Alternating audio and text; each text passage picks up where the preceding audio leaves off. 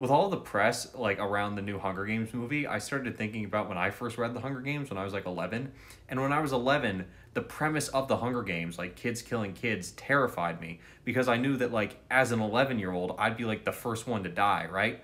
But now that I'm a little bit older, the Hunger Games doesn't so much scare me as it intrigues me because I think that if I got picked for the Hunger Games right now, I'd be one of the careers. I'd be one of the favorites. I'd have like 40% odds to win the whole thing. If I got picked for the Hunger Games, this is how it would go. So Spencer, how are you feeling about your odds in this year's Hunger Games? Oh, I gotta tell you, I'm feeling great.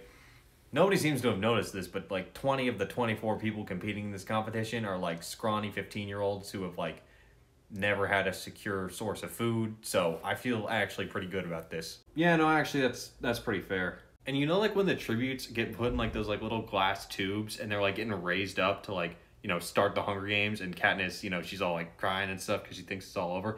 I'd be in there watching TikTok edits of Conor McGregor and Anakin Skywalker getting hyped up.